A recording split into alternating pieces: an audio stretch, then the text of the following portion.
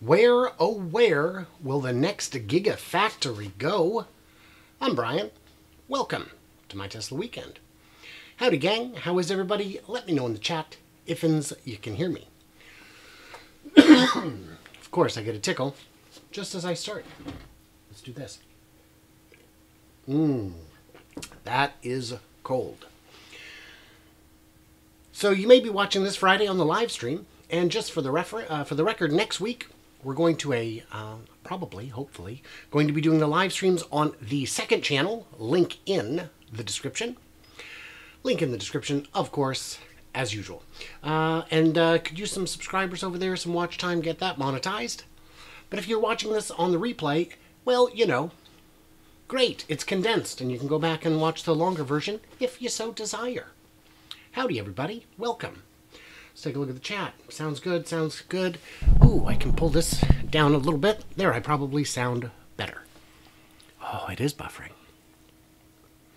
Okay, so let's just jump into it. So after I did the first dozen, uh, I got a bunch of suggestions for other places that I should absolutely cover. Uh, so I'm covering them. And I was also asked to, pretty please, please and thank you, with sugar on top, uh, give some actual numbers. So I've done that as well. The ones in gray here are ones that we covered last uh, last time, uh, but we'll cover them again. So let's go alphabetically because it's the only fair way to do it. Why I am buffering. Argentina, pretty small GDP, only comes in at 9% among the countries I'm checking. Um, their GDP growth, not exciting. Corruption index, uh, not too bad. Um, political stability, it's fine, middle of the pack. What they do have uh, reasonably well is some domestic resources. Now, I only counted four for the sake of this. I counted um, steel, iron, uh, sorry, steel, aluminum, lithium, and copper, which are kind of the big four. Their import taxes are quite high, so having a domestic production there would be good. But, uh, you know, it's fine. So uh, they would probably have a strong, a reasonably strong political will to get it done, but not much to offer in terms of, um, in terms of incentives. Their domestic auto sales, quarter million, and uh, they already make 300,000 cars a year, uh, giving them a rank of 22 on the list. That's uh, mostly harmed by the low GDP and low expected growth in GDP over the next 10 years. Australia and Brazil uh, both got a good score on minerals because they have all four of those things being produced. So they came out a bit higher. Australia ranked sixth on the list, which surprises me how high it is.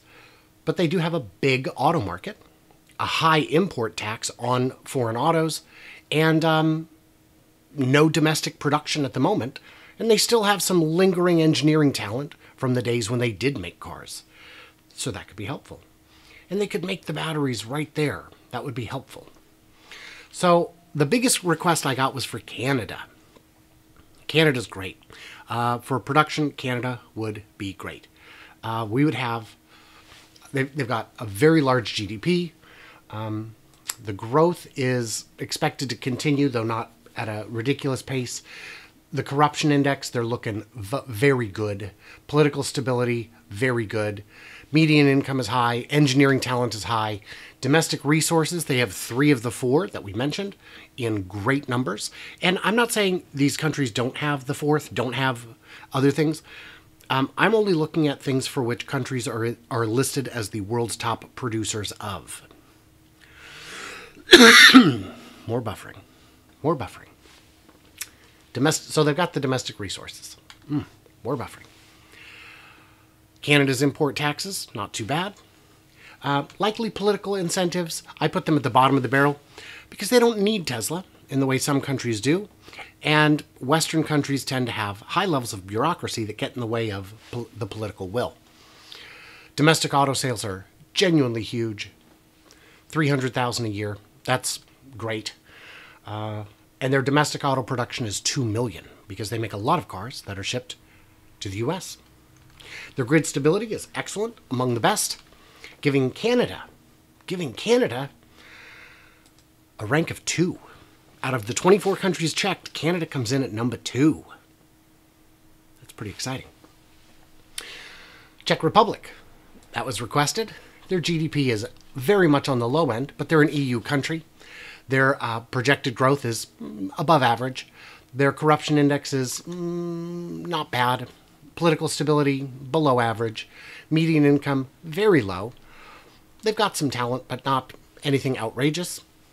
Domestic resources, they don't have any of the four things needed. That gives them a lower score. They're in the EU, so the import taxes are fine. Their political will, I'm sure, would be fantastic to get a factory like this. Their domestic sales are low, but they do already make 1.4 million cars a year, which makes them, in my opinion, a pretty good candidate. Giving them a score of 9. Mm-hmm. Mm-hmm. How'd France do? Big. And by the way, all of this is going to be on Patreon uh, as a Patreon exclusive without the numbers blacked out. But this gives you an idea of where we're at. France, they've got good talent. They've got a lot of stuff. Not super rich on on um, where is it? On the domestic resources. One of the four is in strong supply. Their rank eight. Not too bad. Not too bad. Which ones are exciting? Which ones are exciting? Yes, you don't see anything but the rank numbers. Uh, these are mm, Patreon exclusives. Um, and maybe I'll make this available later, but um, I put a lot of hours into this. This was a lot of research. India, I'm a big fan of India. It scored a lot lower than I thought. Uh, four, still four, because the market is so big and it is expanding so quickly. Um, the political stability is not great. the median income is real bad, um, but it's growing and it's expected to grow a lot faster. And their engineering talent is exceptional. Not not the 100% level I'd put Canada or France at, but uh, 90%. They're just about there. That's what I put, right? 85%. So, not bad. Now, Indonesia, bigger market than I expected. Let's do Italy at the same time, might as well. Two big markets, How'd they rank? Well. Um, Indonesia coming in at 13 is a very strong contender, I think, because the market is big, it is growing, they do have resources. It'd be a good market to get into. Italy at 3 strikes me as too high, but the numbers don't lie. They're just potentially quite flawed. Japan. You ever heard of it? Look at that GDP, five billion. Uh, sorry, five trillion, giving them the highest number of any country that is not on this list. They're not uh, looking at bad growth, decent growth. Uh, the corruption index is quite strong. The political stability is very strong. Uh, median income is very good. Engineering talent is second to none when it comes to autos. Their domestic uh, resources are quite limited. They only have pig iron um, and yeah, their uh, import tariffs are quite on autos are are very are non-existent, and on material on goods they average two and a half percent, which is quite reasonable. Gives them uh, a good a good shot. Their likelihood of political incentives would be almost non-existent because they don't need it. But they sell 3.8 million a year and make 9.6 million a year. When it comes to auto production, Japan got it dialed in. Their grid stability is very high. Boom. You know what? Why don't I turn on grid stability so you can see that? It's not uh, the prettiest. But yeah. And these ones are just 100%. They just didn't fit well. Make it a little smaller for you so you can see. I can turn that one on. That's not cheating. Ooh, still doesn't fit. There we go. Who's next? Malaysia. Um, similar situation to Indonesia. Good, lots of stuff, similar rank. Um, Mexico, we covered last week or last time. 18. A lot farther down than I expected. Further down than I expected. Farther? Yeah, far. It's a distance. Netherlands, surprisingly small country, 16. It's a good rank. It's a good rank. Uh, Pakistan, I'm not sure why, uh, why that was mentioned as a possibility, but it was, and I figured I would absolutely cover it. Very small GDP. Um, not a lot of, uh, a decent expected growth, uh, not a lot of uh, hope on the corruption index or the political stability index. They are at dead last on political stability. Median income is shockingly low.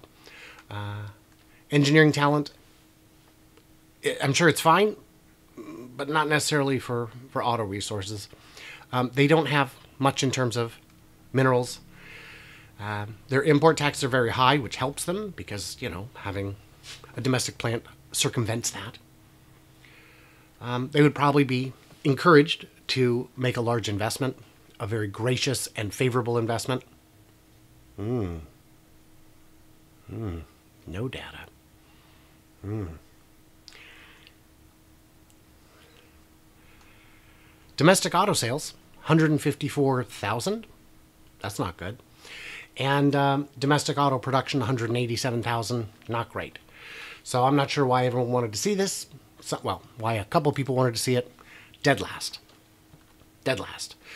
Philippines, similar situation to Indonesia and Malaysia, but a lower ranking. Um, because, you know, they're, well, because of all the factors. And, uh, yeah, and Tesla doesn't do cheap. But for an export hub, it could be helpful. Now, these were all covered last week. I'll just turn them on. One, two, three, four, five. Mm-hmm. Boop, like that. So Poland came in very well, but it's right next to Germany. I don't know if they'd want a second plant that close geographically. Romania, not too bad, but Russia, right in the middle of the pack. South Africa, much closer to the bottom than I would have expected. South Korea, number 10, kind of surprised me. I thought that would come out a little higher based on their engineering talent, but they don't have much in terms of domestic resources, only one of the four items listed. Spain, also in the EU, they've got um, they've got uh, 851,000 cars sold a year and 2.8 million built. So that gives them a leg up. Spain popping in there at rank 17. Ugh. Thailand, similar situation to much of Southeast Asia, but with a smaller economy and less political stability.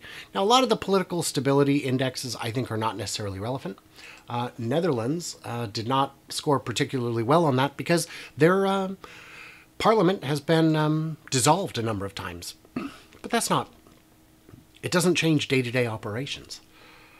Turkey. I was asked to put Turkey on the list, and I did. Ranked second to last. Mm. Second to last. Mm. Mm. So the UK, for those of you doing process of elimination, can figure out ranked five. Not bad. It's because their GDP is huge. Let's just turn on all of the ones for this guy. Oh, they're going to not fit because I smooshed them. Uh, I can make them a little smaller. Let me just take that down to eight. Yeah, they still don't fit well, but at any rate, growing, uh, bottom of the barrel growth, but other corruption index very strong. Uh, political stability, middle of the pack you know, they know what they did. Um, engineering talent, quite good. I know that uh, their cars are not always uh, have the best reputation, but they've done well. And they could absolutely build a car. So, so with that said, I think we can get on to the Q&A. We can drop into that section, the entire section, the whole Q&A let's go into the Q&A hole. Quick thanks to my Patreons who get early access bonus content, the full version of this video, which will be automatically posted, I believe, in 15 minutes, unless I set the time wrong, in which case I'll go double check it. So let's have a chat, shall we? I'm going to put this up. I'm going to put this up, hoping not to regret it.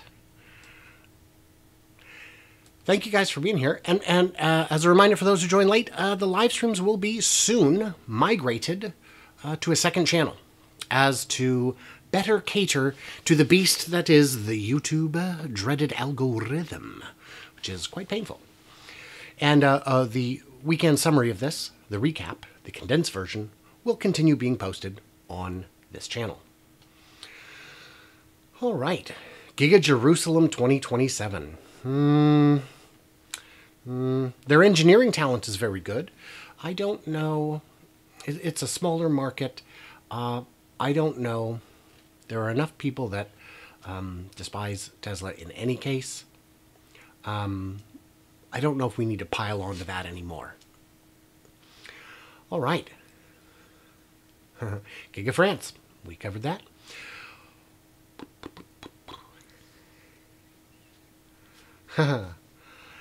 I think you found a country that will move slower than Germany.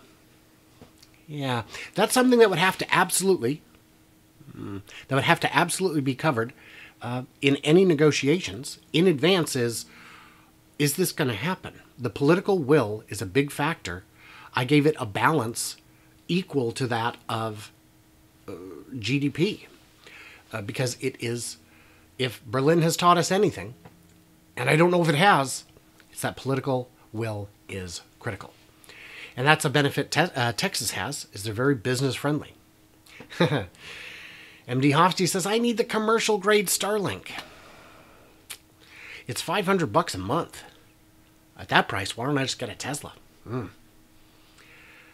Um, Giga North Carolina. Yeah, I believe that uh, there will be expansion in lo- in countries where Tesla already has operations before we will see any production from any new countries. Um, is there numbers from tenure to score? Well, you know what? You guys are here on the live one and you made it this far. So why don't we go ahead and just turn this on because I'm a nice guy. And the casuals, I'm sure, have already left. This score is derived by mm, making an index. I use the real figure and then an index, which which I let's find one where it actually shows, where we can actually see it.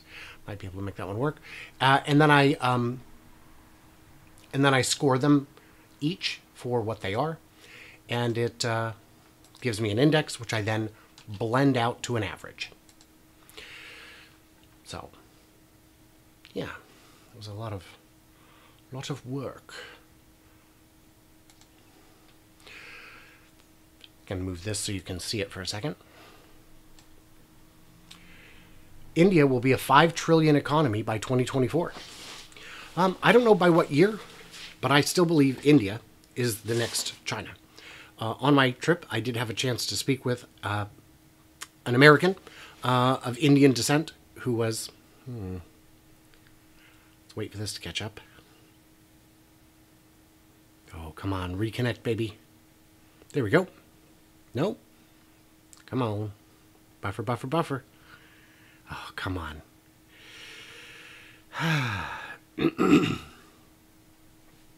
there we go. So, uh, yeah, uh, India will be the next China. The gentleman I spoke to um, was from India originally. He's an American now, and he felt uh, the same way. Um, but maybe that's national pride. I don't know. JJE came back with his wonderful joke again. Gigante Mexico. Si, muy gigante. Any guesses what the massive mound of dirt at Giga Texas is for on the east side of the parking lot? It is for storage. They took the dirt from where the cyber wall is, where they're widening the road at the northwest corner. That's just storage. They're just storing it for now. They don't they don't need it.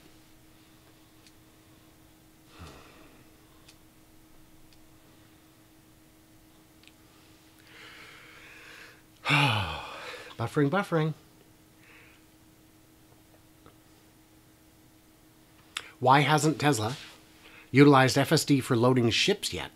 Immediate financial benefit, real world testing, limited liability and danger. Yeah, I don't know.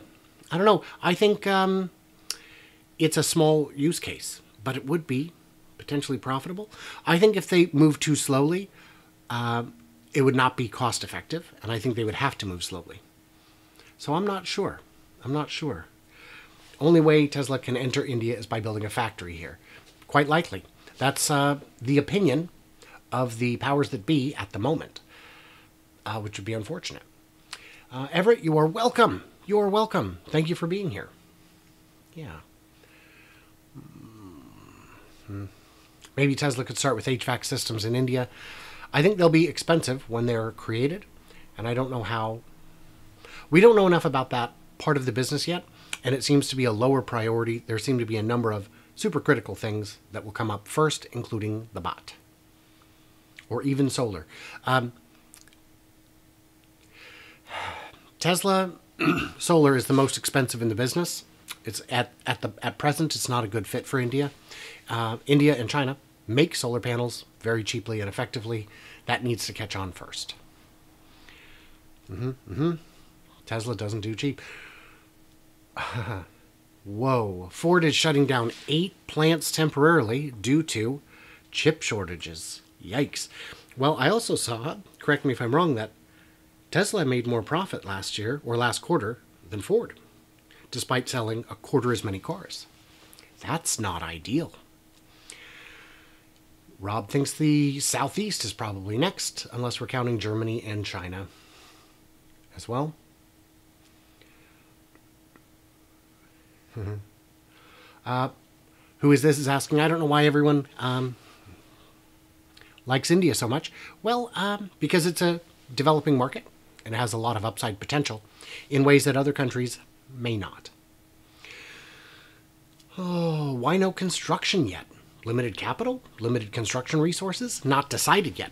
If you mean in Giga Texas, where we've seen footprints laid out and no construction begin, I believe it's because of a uh, shift in production methods. When the lithium was going to be coming from, what, North Carolina, South Carolina, I forget, uh, that was a particular type of uh, lithium deposit. It was the carbonate. And uh, that requires a different method of refinement than others. So the factory may have had to have been completely redesigned as the lithium supply shifted. It's definitely not a lack of capital. They got that. East Coast, US or China. Giga Mexico, no other option. Yeah, maybe, JJ. Maybe. Mm-hmm. no other options. Who is this says, he's literally listing all the other options. Yeah. Um, the grid in India definitely was a ding against them. Let's see. India. Well, middle of the pack. Middle of the pack. Not so bad. And also in the cities, I imagine uh, you, if you are in an industrial area, you probably have, uh, you're probably not subject to rolling blackouts the way you would be in other, in especially residential areas. What about Canada? Yeah, it's on there. It's on there. Canada scored awfully well. Second only to Japan, which I thought, Japan, I was very surprised, but there we go. Jeff says, Ford shutting down temporarily. Sure. Yeah, maybe. Ford says they want to improve their gross margin. Oh, do they? Oh, I had no idea. Yeah. Uh, once the supply shortage is over and you can get whichever car you like, Ford may have a problem because I don't know how many people are going to be buying $80,000, $90,000 Fords. Chip shortage is just an excuse. Quite possible. Quite possible. Oh, do I see a split this year? I do. I do. I think that will happen. I do. But I am not a financial advisor, and I am notoriously wrong about this stuff. What did I miss? Nothing. We're just uh, talking about two dozen countries that could could get a gigafactory. All of these, any of these, or also none of these, could get a gigafactory. Moose Jaw, Canada. Hard to adjust to different chips for Ford since they don't even assemble their own components. And they certainly don't have in house software. By the time you would, you order the different chips, you're going to use some different chips. By the time you get them, you might not have even gotten your bids back to find out who can write the code for it. Yeah, you can't be nimble. When Tesla finds out, oh, we don't have X chip, but we have Y chip, they say ship it. And by the time it comes in, the code's already written it already is ready to work. Ford's had plenty of time to fix this. Yeah, I feel like they have. I feel like they have. But uh, that's not what they do. That's not what they do. So we're at the 25 minute mark. If anyone wants to ask a final question before we go, let's do it. And uh, if you haven't had a chance, please do check out the second channel, link in description, where the live stuff will be hosted starting in a week or so. That would be that would be cool. Um, because YouTube is kind of punishing when it comes to lower retention and uh, you know the guys the you folks who come here are already my fans, my already my subscribers. So I don't know. I'm just trying to find a way that works to make YouTube happy because at the end of the day, uh, that's how people discover me. That's how they find the channel. So again, as usual, uh, thank you to uh, my patrons, all that good stuff. And uh, why don't we take uh, one last peek at here? Mm-hmm. Okay. So what did I miss or misunderstand? Leave me all your thoughts, your brilliance, your blinding wisdom in the comments below. And as always, stay tuned, stay juicy, and I cannot wait to hear from you clever robots on the flippity flop. And JJ, yeah, of course the semi's coming to Pepsi this year. Of course it is. Why wouldn't it? And I know the answer mm, because it hasn't come anywhere yet. wow. Czech Republic has 1% unemployment. That would make it just about impossible. Boy, that would make it just about impossible. That's a great, great point. Thank you, Cura Cars. Uh-huh. Uh-huh. All right. Okay, guys, thanks uh, as usual. Happy Friday, happy weekend. Got good stuff coming up, and I'll talk to you clever robots, uh, you know, in the future. Thank you, Jeff.